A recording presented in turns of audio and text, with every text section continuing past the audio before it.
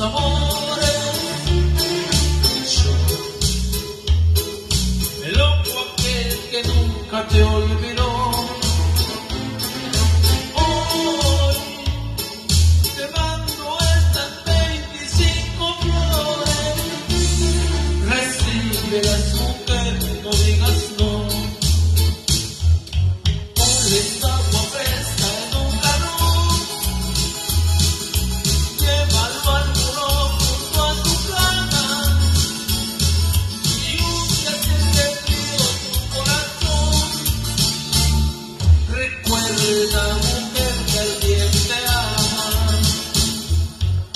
¿Dónde?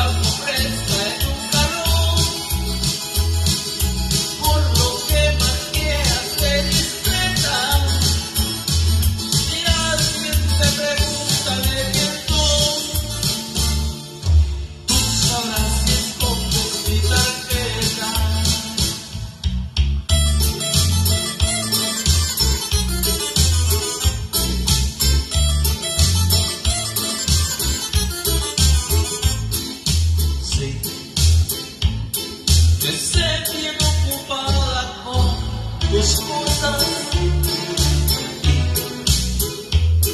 Gospoda.